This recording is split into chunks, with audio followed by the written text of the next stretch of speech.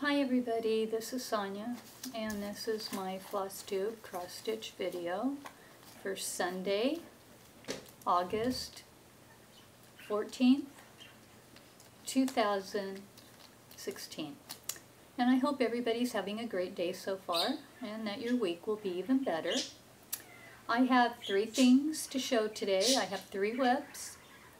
I have two cross stitch kits that I will be starting and I want to share them with you. And I also have a idea that I want to share with you guys and see what you guys think. So it's going to be short and sweet, but let's go ahead and get started. The first one that I want to show you is from Zoo, Suzy's Zoo. It's a Janlynn cross stitch called Glamour Puss. And everything is still in hoops, by the way. I haven't taken them out. And here it is. And it's worked on 14 count, white Aida. And I'm almost done. I should be done sometime this week. I've just got to finish it off here. Got a back stitch.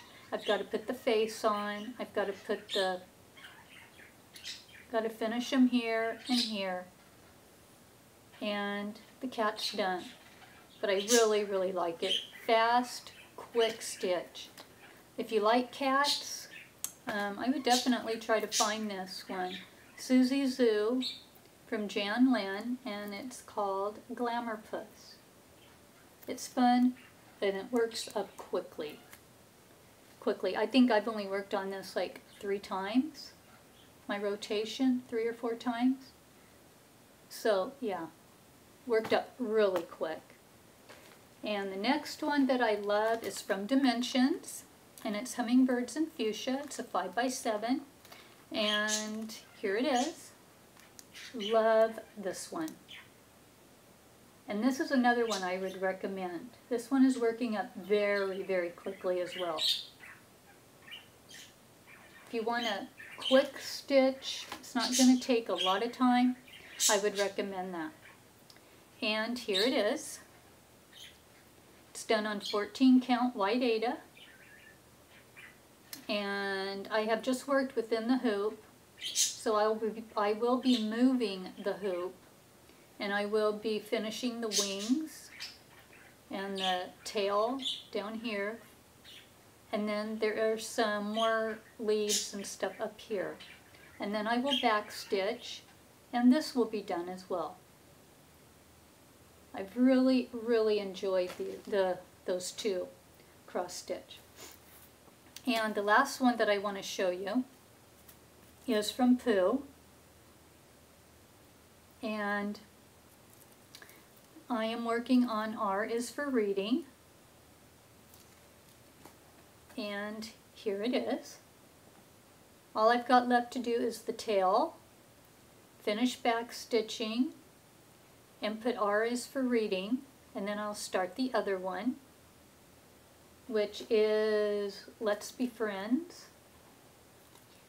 And this has worked up kind of slow because it's worked on the vinyl, but I'm enjoying it. It's fun. A fun project.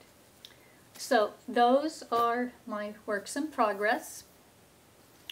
Now, onto the projects I will be working on when the hummingbird and the cat are finished because they will be done probably this week.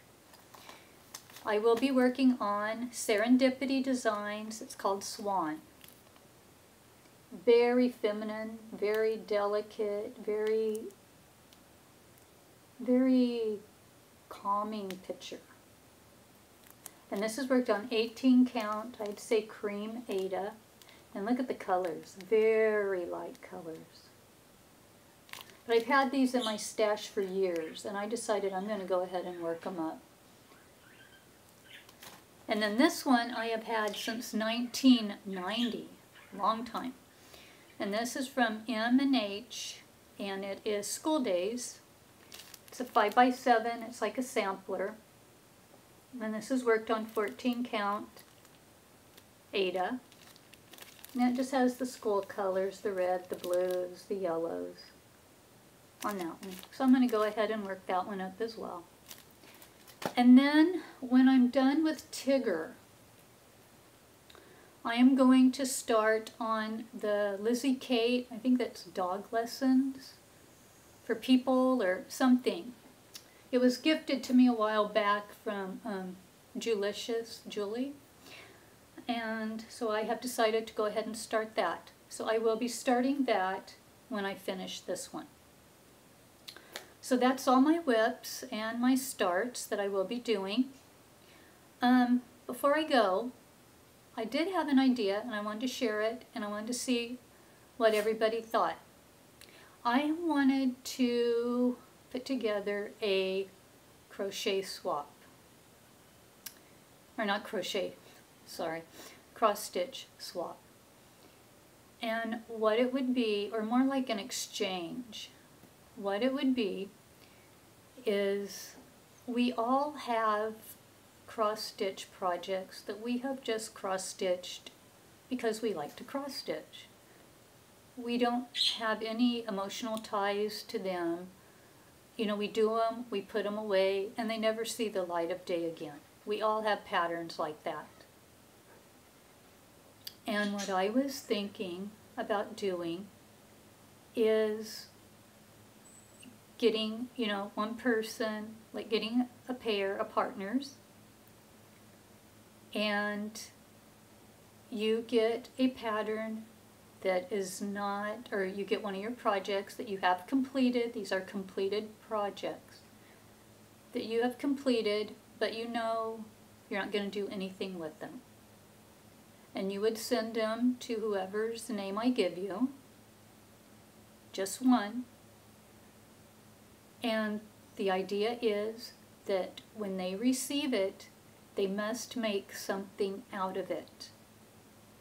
Whether it be an ornament, a pillow, frame it, make a wall hanging, or whatever other way they want to use it, turn it into pin cushions, whatever. Whatever they want to do with it, they must turn it into something. And I would give you one month to get it turned into something. Then you would need to send me a picture of the finished product or project and that is all you have to do. And I just, I thought that that would be fun to do. That way our, our cross stitch gets out and around, it gets turned into something, it gets used, and yeah, so that's basically it. And anyone that um, does not follow through and does not send anything um, would be banned from doing it again. I would make sure to keep their names on hand so that I would know that that would not happen again. And I would send something of mine to replace it.